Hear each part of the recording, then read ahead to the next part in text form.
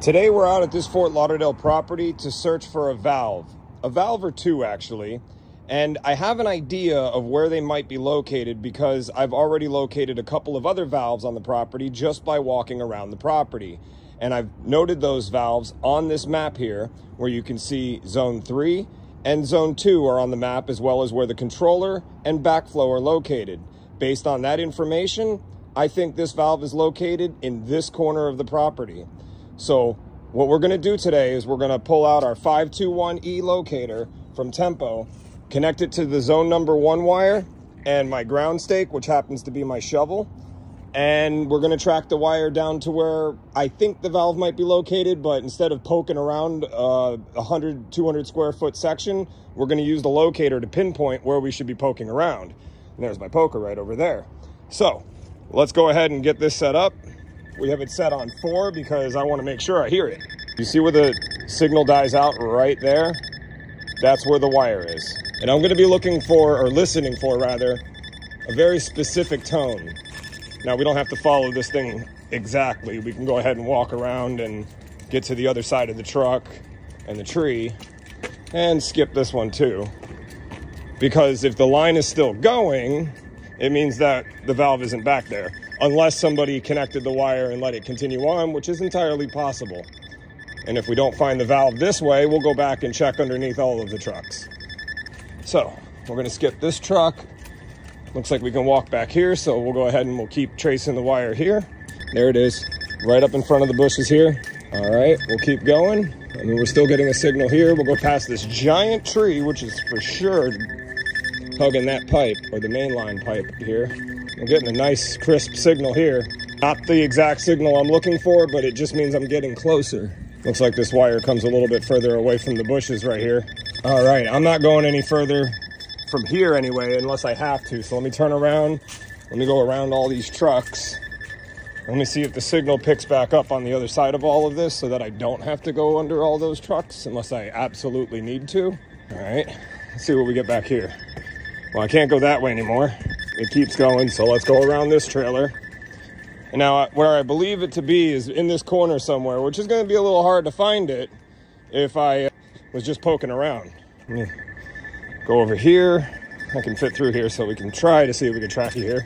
Or at least trying to see if it turns. Let's go on the other side of this and see if the wire turns. I'm going to stay away from all of those nails and come over here. Yeah, there we go. There it is. There it is. Do you hear the ticking noise it's making? Now, I don't have my poker stick, so well, let's see. Let's scratch this. Oh, I see it. We just got to get these roofing tiles off of here, and we found the valve. Good stuff. All right, let's do that. So I actually took the time to clean everything up. This thing was full of dirt. I cleaned all the dirt out. I cleaned the valve itself with my little handheld pressure washer. So this turns out to be the main junction in the corner of this property. There isn't another valve between here and the controller, so I can actually move my tracking equipment to this location, although I won't know what zone numbers these are, so maybe I won't do that. Either way, I found valve number one, that's here. I'm gonna go ahead and turn on the system because it has a master valve and see what's going on with this valve because maybe we need to replace it, maybe the solenoid's no good. Now that we found that valve with the 521E locator, we're gonna go turn the system on to see what's wrong with the valve. The valve is stuck open, so I imagine there's debris inside of the valve. But we're gonna play with that flow control because it's also possible that the flow control is stuck or is uh, wide open right now. Look at her, ain't she pretty? I cleaned her up nice and clean because she was gross. All right, we're gonna go ahead and throw on zone number two because that zone is behind me. And it will still kick on the zone at my feet here because that's the one that's stuck open, but it should turn on that zone over there, which it is coming up. And like I said, it's also turning on the zone that's stuck open. So we're gonna go back down to that valve and we'll see what we see. We're gonna go and manually close the valve, move this head out of our way, and see where the water stops. And this thing was wide open, just like I thought. Actually, let's stop for a second. Let's see if the valve will shut itself off. Let's make sure the solenoid is tight. Okay, it doesn't seem to want to shut down, so we'll give it some more. Now this flow control feels a little funny to me, like it's not going to do what I needed to. Oh, here we go. Let's see if it'll shut on its own. I have it almost all the way closed. You can hear it. All right. So now that valve is off. That should tell me if this other section over here is a separate zone. And just as I suspected, it is a separate zone. So that means there's two valves stuck open on this property. We've only found one of them. So now we need to go find the one that's controlling this zone. And then there's one other valve on the property that needs to be located because it just doesn't turn on and it controls the front of the shops. We'll get to that one after this. So there's actually three valves we have to find today. And we found the first one here. We will have to replace this valve. It needs replacing. So we'll go ahead and get that done for them. With zone running from the controller, we can use our multimeter to confirm that zone one is in fact running from the controller. All right, now that we know the valve location, we can go ahead and mark it on our map. We also know that the valve waters a different area than I have marked here, so I'm going to go ahead and delete the polygon I have here. And I'm going to add a new polygon that travels the whole length of the back of this property. We'll zoom in this time so I don't mess it up. There you have it. We'll confirm the polygon. We'll call it zone one, and we're done. The only other thing to do is the very important task of marking exactly where the valve location is. And we're going to do that here. We're going to give it a name, just the number one, and hit done. And just to show you guys that that's actually where the valve is, I'm standing over it right now. We're going to hit the GPS button. As soon as my phone collects the GPS data from where I'm standing, it will put me right over the valve. And there you have it. So you know how I said I would need to go to the controller to track the wires because I didn't know what the wire numbers were here? Well, I went ahead and identified all of the wires here using my multimeter and the controller itself. By turning on each zone, I went and looked for 24 volts on each of the wires and I numbered them. Now, of course, my number book ran out of the early numbers like 1 through 10, so I used 11 through 15 to mark the five zones. And then I used 47 to mark the master valve wire here. So now I know what all of these wires are and I can start tracking from this point instead of all the way back at the controller. I do know that zone one, two, and three, I know the locations of those valves, so I just need to find four and five. I don't necessarily need to find the master valve because it's working just fine. Zones four and five are not working just fine, so that's gonna be this wire and this wire that I have marked 14 here. So we're gonna go ahead and start tracking those two wires to find the other two valves. Oh yeah, and before I do that, I'm gonna go ahead and clean up all this wiring because it's a mess and I'm gonna put in all new wire nuts. All right, now that we've cleaned up the wires that we know are working, we're left with the two wires that aren't working or we don't know the locations of the valves for. So we're gonna go ahead and clean those up next. I just wanted to check in and show you that when I clean up wires, I cut out the connection completely and rewire it with a brand new connection. I don't just put new wire nuts on it and move on. So those are all brand new connections. They're solid, good to go. I even rewired this valve back in, but I'll probably have to replace it. We're gonna go ahead and start tracking these two wires next. Before I do that though, I would like to point out that I did put the stickers on these wires from the wires coming into this valve box from the controller. So I know that this wire is coming from the controller and this wire is going to the valve. So when I go to check or track the wires, I'm not going to connect to this one. It'll lead me right back to the controller. I'm going to connect to this one going to the valve. Let me show you guys something that doesn't happen to me too often, but I know the solution to this problem. I was trying to get a good ground so that I can start tracing this wire. And everywhere I stuck my screwdriver, because this place hasn't had irrigation for a while, it was too dry. So I went ahead and stuck my screwdriver in the ground right here and pulled it back out and I used the bottle of water to fill that hole so that the ground would be super moist. Then I shoved my screwdriver back into the ground, packed the dirt around it, added some more water to make the whole area nice and moist and that will give us a way better earth ground. And that's exactly what happened because before I did this, and I wish I would have filmed it, that transponder or transmitter rather was reading nothing on it. It wasn't sending out a signal because it wasn't getting a good earth ground. Using the water, on the ground with the earth ground stake, or in this case, the screwdriver, makes the earth ground better for your tracking purposes. If this doesn't work, you can use salt water. It works even better than regular water, but this works for me today. Let's get to tracking this next valve. All right, looks like it went that direction over there. We'll walk around the trash can, pick it up over here, and right where we're losing the signal is right where the wire is. So we'll just follow this and we're going to skip some spots. And if we have to go back, we will, just like we did last time. Actually, we didn't have to go back last time. We skipped the spots and ended up finding the valve. But as long as I pick up the signal over here, like so, then for sure this wire is still traveling in this direction. All right, let's hope it's not under the box truck here. But if it is, we'll get them to move it. All right, that doesn't seem to be the case. We're still going. Unfortunately, we hit the pipe when we were fixing that. Now I'm going slower because I know that this line has to turn somewhere because the backflow is right in front of the building there. This is where at 90s, no signal. And then if we pop out over here, So there could be a valve box in this area, although I'm not getting that indication on my locator. You know what? This is bringing us to the valve in the front of the building, not to the one on that corner. So that must be the other wire that I have in there. I know that I have to find the valve that's stuck open over there, and that's probably on that corner. But this valve, or this wire is leading me to the valve that waters the front of the stores, or the front of these businesses. Now I know I have the valve box for zone number three right there. I don't think that these keep going. I guess we're gonna find out. I guess it does keep going. All right. Well, come along with me while I try to figure it out. That's suspicious. And I know the valve for zone number two is at the end of these bushes here. Let's see. Gotta get to the other side of these bushes real quick. Actually, that's good news for me because it's no longer, I mean, it's over this valve box, but that's not picking that up. There must be another valve somewhere around to the other side of this red truck. Because I know all the front of the shops here didn't get any water when we did our inspection. So there's got to be another valve somewhere. Nope, not finding that one. Let's go ahead and track the other wire and see if we can just rule some stuff out. There it is. You hear the chirp noise? How much you want to bet? Let me go get the poker. I'll say it's right here.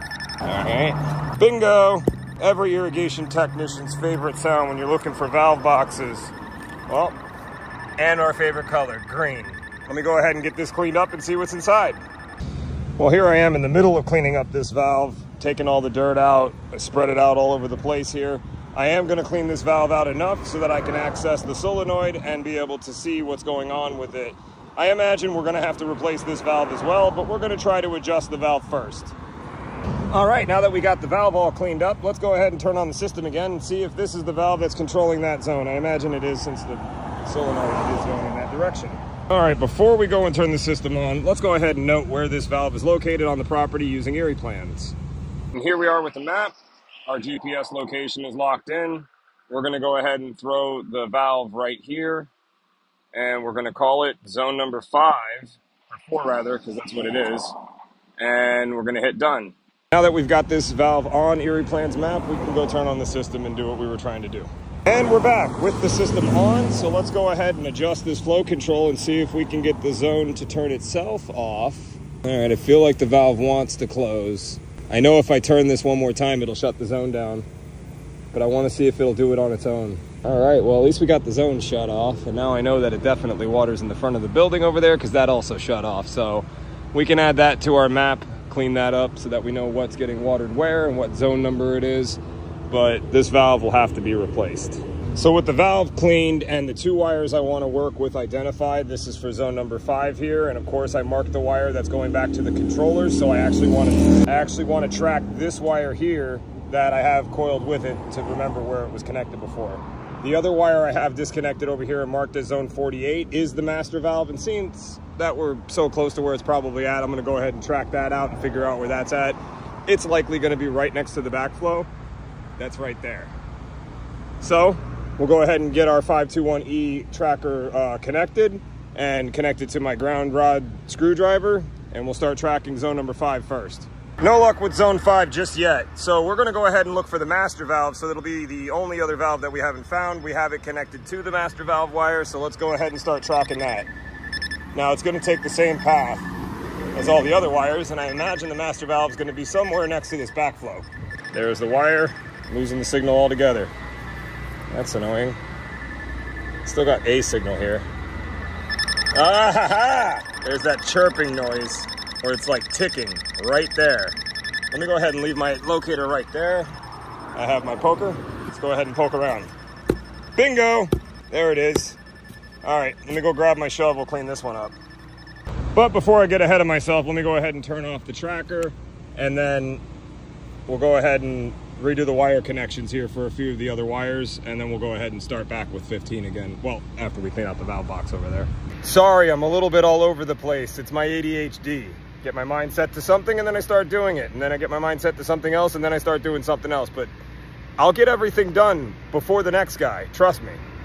All right we got all those wire connections clean with the exception of the wire i still need to track but i'm not going to leave this out here because i'm going to go work over there and this won't be in my sight one of the things I like about this unit is that it can just be tossed into the truck like so. I can lock the truck up and then pay no attention to that area over there while I go uncover this valve over here. This is our master valve, and that's what it looks like when you pull the top off, completely full of dirt. So give me a few minutes, I'll clean this up, and we'll be able to see what's on the inside here, including the wrong wire nut. Well, I got it all cleaned out, but I'm gonna go ahead and put a couple new wire nuts on that one because I'm not gonna leave those little yellow wire nuts on there. And I'll show you what it looks like in just a second when we get over here. There you have it. There's our master valve. We're gonna replace those two yellow wire nuts with dielectric wire nuts so that this will survive. We definitely don't want this on the common wire because then the whole damn system will stop working. And not to mention that this is the master valve, so if it stops working, well then the system doesn't work. I imagine that's why this valve was replaced recently. This is the newest valve on the property until I find number five, which is the only one I haven't seen yet.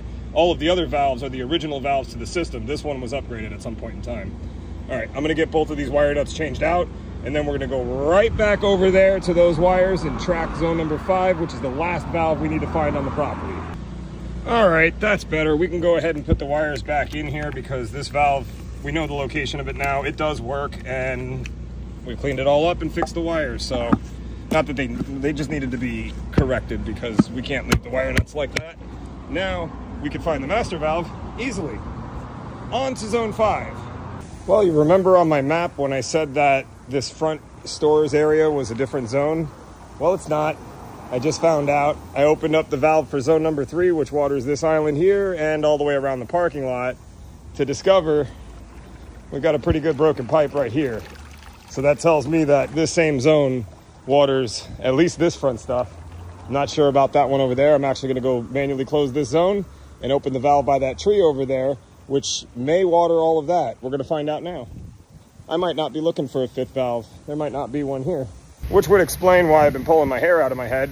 Might not be a fifth valve, might just be a spare wire.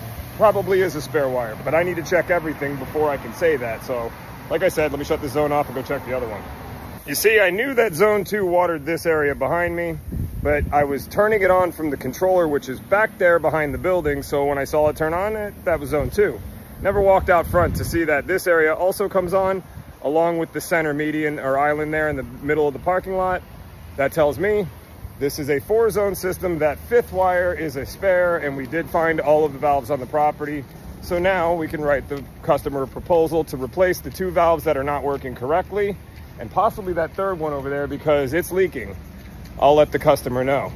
We also have some other fun things to fix like this sprinkler head at the bottom of this tree here. That'll be fun. Other than that, we've done what we needed to do here. We found all the valves thanks to our Tempo 521E locator. Thanks Tempo, that thing is awesome. It rocks, it does the job just like it should.